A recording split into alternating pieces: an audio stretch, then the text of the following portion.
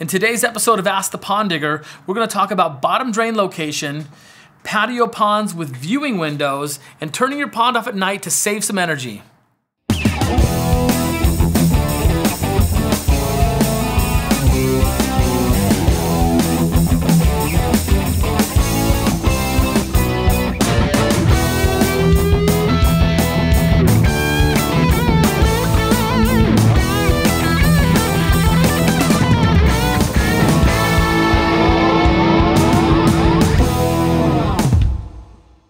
Before we get right into the questions, I want to talk about the koi in the swimming pool theory. If you watched one of our last episodes, we talked about a koi that made it from the pond into the swimming pool, and we wanted to know the theory. So I had some fun theories, a lot of people pitching in and chiming in, and most of them are kind of the same. But I want to tell you my favorite theory came from a DS Koi on YouTube, and uh, he believes that a bird landed to get that fish, picked up the fish, the dog comes out, to rescue the fish.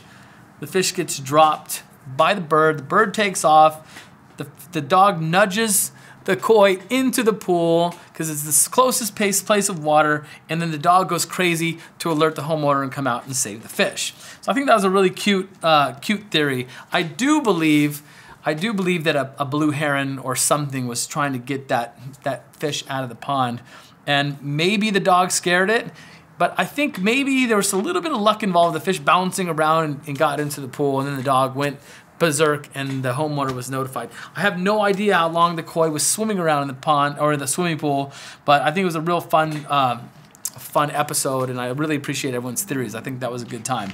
So let's get into the questions. I have a question from Jim Walsh on YouTube, and he wants to talk about bottom drain locations. And his question specifically is about uh, he wants to know if, if you have a, a, pond, floor of a pond, should you pitch the floor of the pond like this and have the bottom drain down at one end and try and push everything to one section, or should you have it in the middle of the pond and slope everything to it?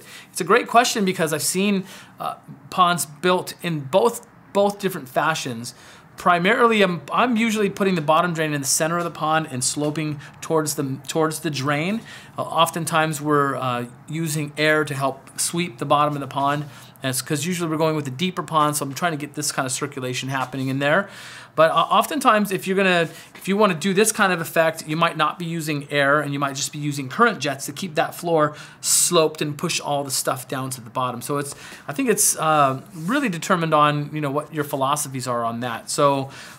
Uh, as I said, most of the time we're putting them in the middle with air and sloping everything to them, but you can do them either way. So that's a great question. Thanks for that, Jim. I'm going to move on to a question from Jeff Franz from YouTube. Jeff is a pondaholic. He's confided in me. It's no secret. Uh, he watches all of our koi discussion videos and he's having a good time. And um, I think the danger with watching all the koi discussion videos is the more you learn about koi, the more you learn about the textbook koi, the more you evaluate your personal collection and wish that you had more expensive fish.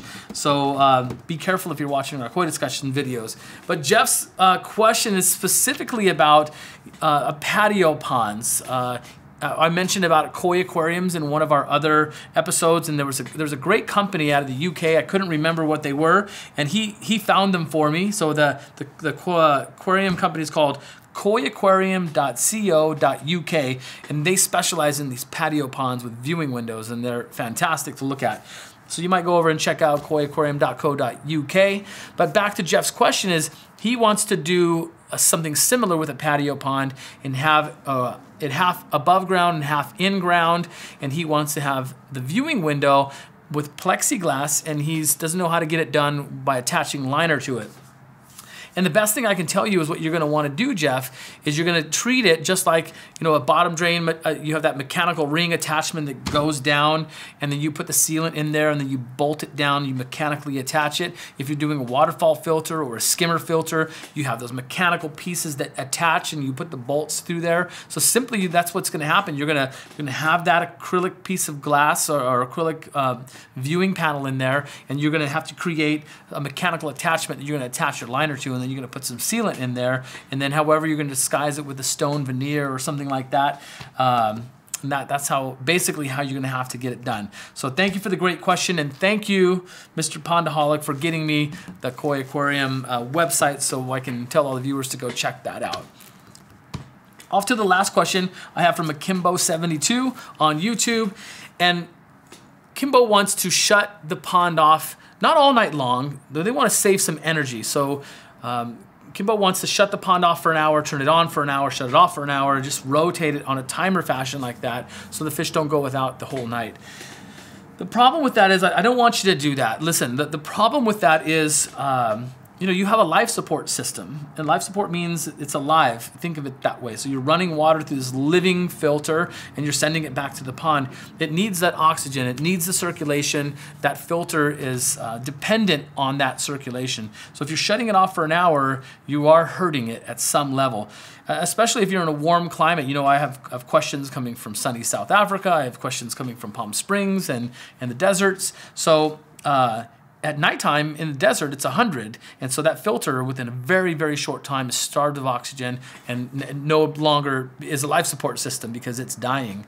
So, my question I'm going to flip back at you is if if you have an energy efficient pump, if you need to look closely at your system and make sure you have an energy efficient pump, if you're still using pool motor technology, those, those motors cost a lot of money to run, uh, you might consider switching over your your life support system to an airlift technology where you can save a lot of money by using lower watts, by using airlift technology to run your life support system. I will throw a, a nice little curveball at you and tell you there is a possibility you can shut your waterfalls off at night. And I've seen this happen a few times because what I don't want to do is just tell you, no, you got to do it this way. This is the only way you can get it done because there are other ways to do it.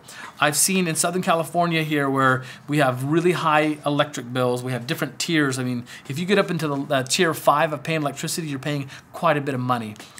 So if you have a, a really well-balanced ecosystem pond with a waterfall filter, that you're sending the water to and is a, a, typical upflow waterfall filter, if you strip that filter of all the media, you take the pads out, you take the lava rock out, you take the bags, you take out all that stuff, and you have it as an open vessel, just an open body of water, it no longer is part of the life support system. So it's, it's a small box, but it is part of trapping particulates and keeping the pond clean and having bacteria growing in there. What you don't want to do is shut it off at night and have all that media in there and then blast the water through there and that filter's all dead and you put smelly stuff back in the pond. But listen, if you have it stripped, you have no media in there, nothing is happening in that filter for life support other than the oxygen from the waterfall coming down.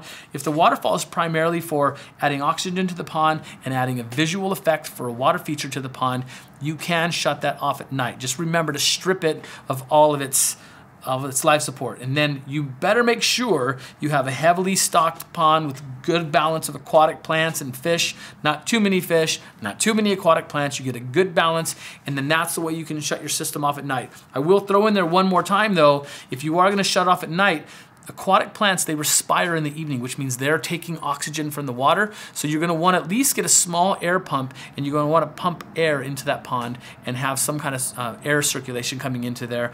And you can cycle that differently. You can have that air pump come on at nighttime, you can have the waterfall go off at night, and then so we're always getting good oxygen to keep the fish safe and happy. So that's it for the show today. My question of the day is going to come back at you, and this is going to be real helpful for me. I want to know about your journey with the Ask the Pond Digger show. Did you find out about our show a long time ago and like when it first came out, you started at one and you've been following the progression? I want to know if you came in, you found the show somehow, some way on episode 19 and you just started watching the show then, and then maybe if you've gone back and forth. I want to know if you watch them all the time each week as they're coming out or if you kind of bounce around give me some feedback on that. It's gonna be real helpful to me. And if you want us to ask your question on the show, you know how to do it. Hashtag Ask the Pond Digger, put it on the social media platforms. We'll do our very best to answer them on the show. Until next time, I'm Eric Triplett, the Pond Digger, and I hope you dig ponds as much as I do.